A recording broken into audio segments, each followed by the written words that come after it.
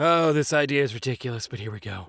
Remembering the time I ate an entire loaf of pumpkin bread and my mom got so enraged she called me a little loaf eating freak. If your hands are cold, it's just your ghost boyfriend holding your hand. My, my, my feet are cold.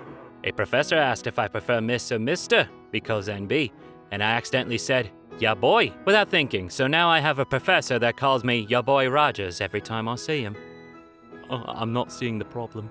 I want to be a cat.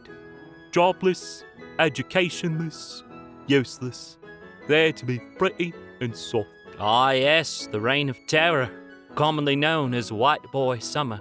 You ever dip your entire Oreo in milk except for the part where you're holding it and feel like this is dipping newborn Achilles into the river Styx, leaving him invulnerable everywhere except for his heel? Yeah. Today, a student emailed over a draft of his essay of 1984, and it clearly used a thesaurus on every single word.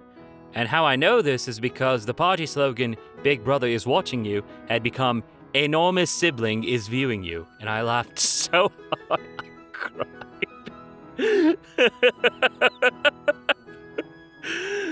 Local mage runs out of mana and just starts hitting shit with her staff. Hmm, good times. I finally fixed the problem. Restroom with urinal, restroom without urinal. Where is your card now, Gender Rose? You used your Joann's Fabrics gift card on snacks. The snacks in the front. That was for crafts. I gave it to you for crafts. Period. Apartment complex. I actually find it quite. Uh, no, no, well. Ah, uh, no, no, yes. Yeah, I'm caught setting the Disney headquarters on fire, but it's okay. Because I actually have this tragic backstory where all my dreams got chased off a cliff by capitalism when I was a kid. Why did I make that guy semi Australian? What's a typical day like? I wake up, I malfunction, I call it a day. Why are logos so boring and minimal now compared to 15 to 20 years ago? It's because we have phones now.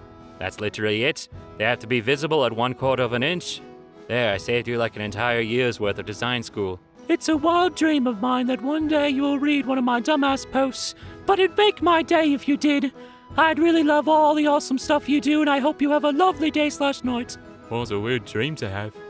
But maybe if I answer this ridiculously enough, someone may submit it to me to read. Hmm.